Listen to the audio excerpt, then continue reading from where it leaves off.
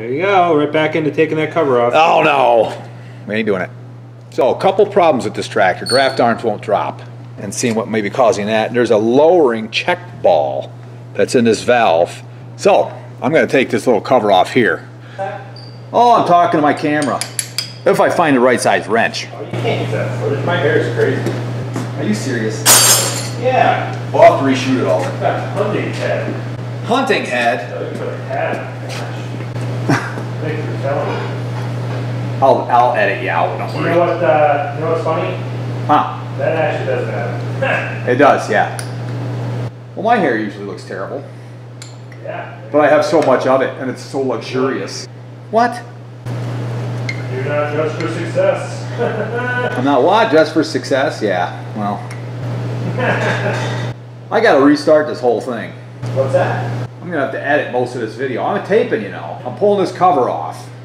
Trying to do a film here. Uh-oh, this looks to me like there's some springs under here because it's pushing. Ah, look, I'm flying out. Oh, nothing but trouble. Uh, So we're gonna take this apart slow. I'm a little, little leery of all the springs flying out. A lot of guys have trouble with this Draft-O-Matic. Talking to, of course, I, you know what? It happens on anything.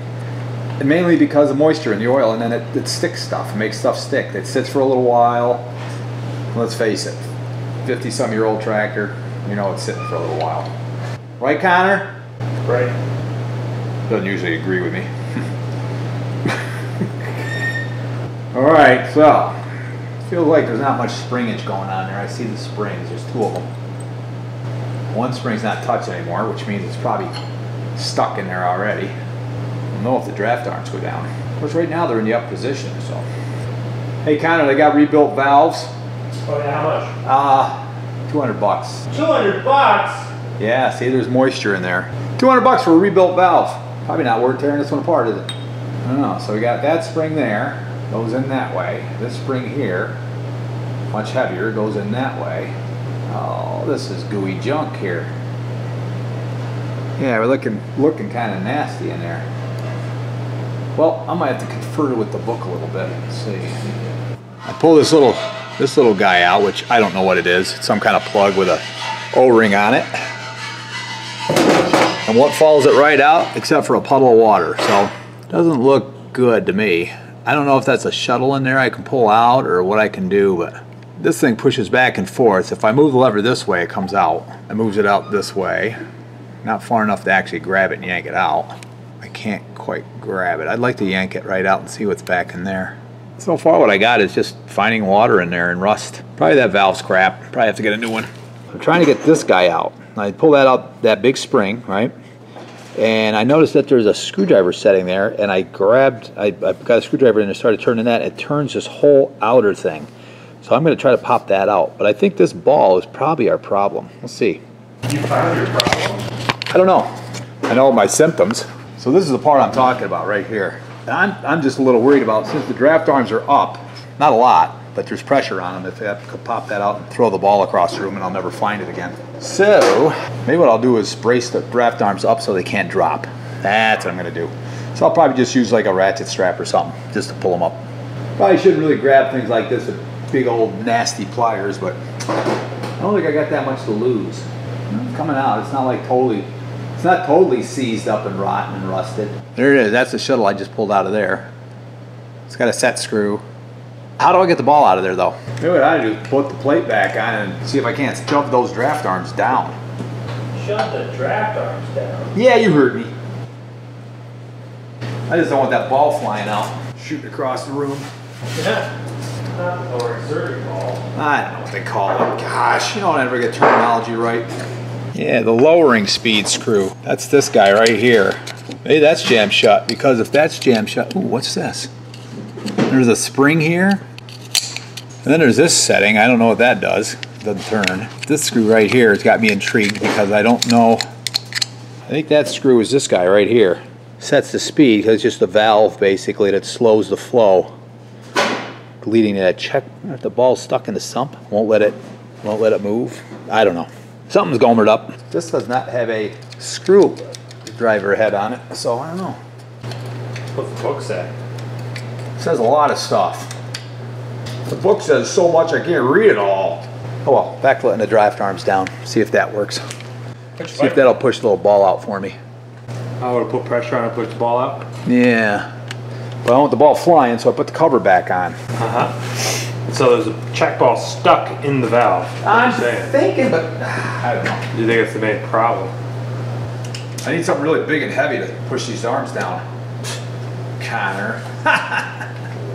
That's funny stuff. I understand your jokes.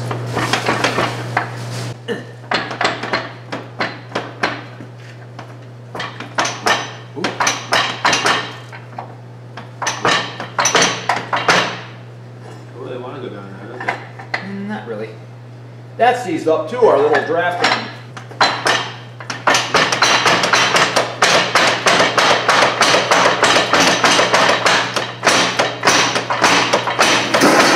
That's a dead. That's a dead stop right there. Yeah, it is. But it goes up first, so. I mean, they move. It's not like the cylinder's seized in there, I don't think. Hmm. Might wind up tearing this whole thing apart, Connor. Make you happy, won't it? yeah. All right, valve's coming off. That's what's happening next. I'm gonna pull off this top plate. This, this. Oh, this comes right off. So I'm gonna slide that top plate off, and hopefully get in here, unhook these this line, these bolts, and lift the thing up. By then, I imagine something's gonna cut loose and it's gonna drop the arms. Dude, this little guy broke. It was broke, so so that's part of it. It's broke, but it's past the halfway point. It's so seized on there, I can't get it to pop off. So I got to work on that. Ew! All right, so I finally got this top cover off, which took forever because this shaft's kind of rusty and it was clinging to it. and I had to pry it back and forth. And this is how this thing goes. Uh, well, not, to be honest, I don't know how it goes. I know this tells it where it's at, and then that works with where you want it to be.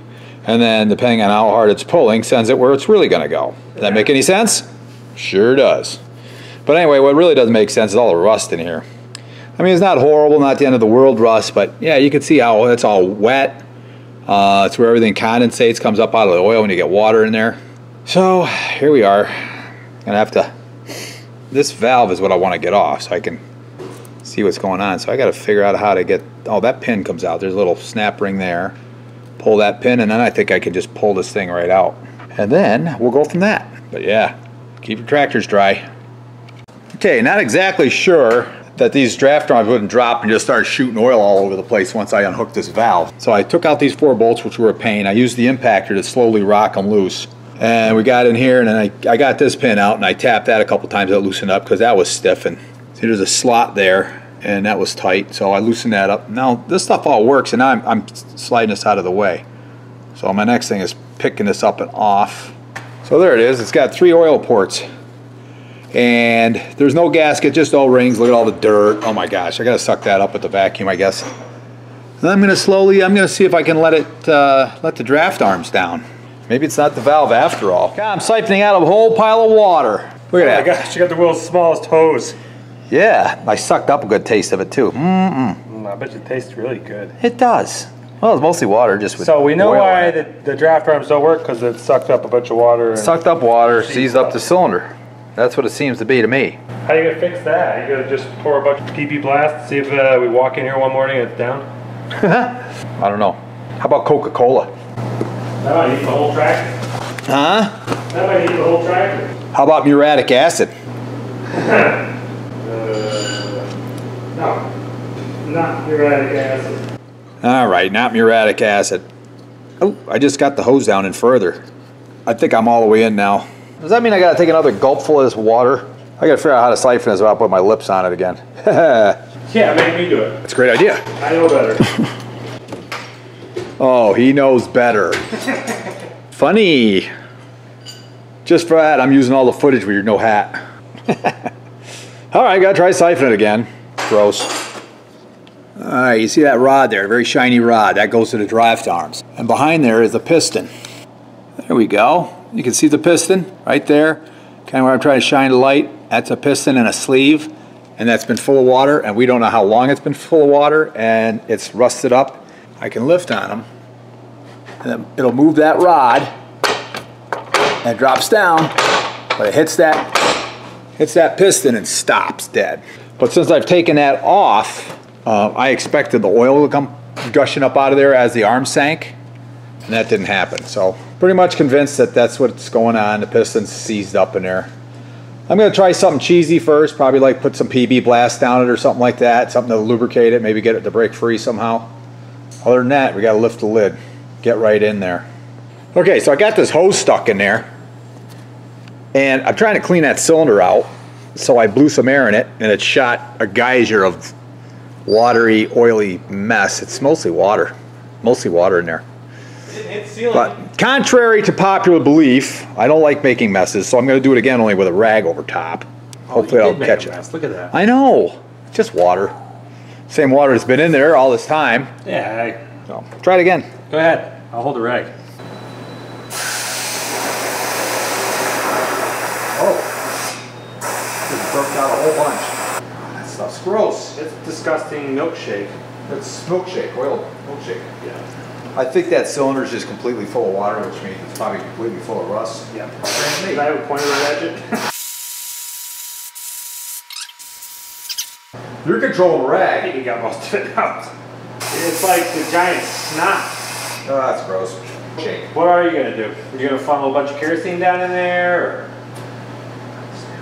mineral spirits? That, that doesn't have the same breakdown ability that other stuff does out there.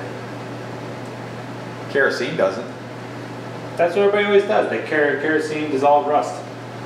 But it don't. What do it? That's somewhere for the water to escape. Is that your plan? I don't know what my plan is. Uh, I think I know what your plan is. Oily, gooey mess. We better unhook them wires from that, and we better lift this off. There's no way to get, unless you don't want a three-point hitch, but the whole point is tractors will have a three-point hitch. Yeah, no, I got, we got. We're slowly moving into the sixties here. At an alarming rate. The late, the 1960s. the late sixties.